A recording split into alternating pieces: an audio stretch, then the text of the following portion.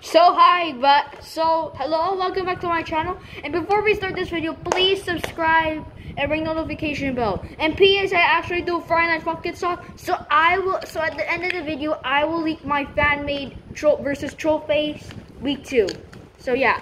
So this is the. So this is a sharpener from my pen. This is a sharpener I haven't opened in years. So um, let me unbox it. Alright, so this is what's inside. This is the orange sharpener over here. See it's got igloo, Maped, because it says igloo thing.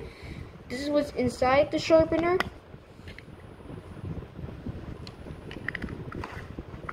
So uh, yeah, it's it's kind of it's it's literally just a one minute video. So bye bye, and don't forget to subscribe.